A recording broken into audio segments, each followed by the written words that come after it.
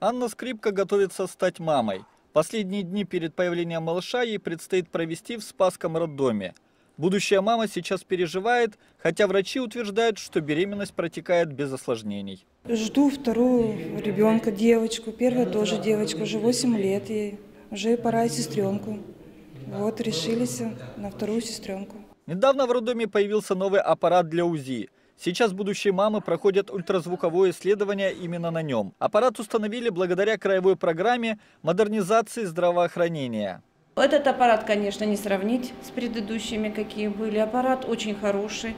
Визуализация, осмотр беременных хороший. Качество изображения лучше. Очень много у него дополнительных функций. Функции Доплера, функция 3D есть, э, что для беременных, для выявления мелких пороков развития очень хорошо. Маргарита Царева только что после родов. Сына решили назвать Владимир в честь отца. Сейчас она благодарна всему персоналу роддома за их работу. Ой, отлично, все молодцы, даже кто в родах моих не участвовал, все зашли, все поздравили, все спросили, как себя чувствую. Молодцы, девчонки. Сейчас в Спасском роддоме в каждом родильном зале установлен фетальный монитор, который следит за сердцебиением плода.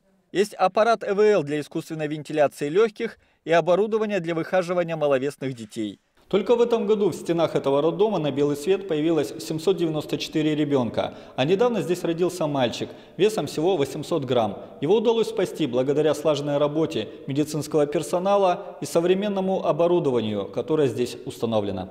Евгений Бербенцев, Олег Буймиструк, Панорама.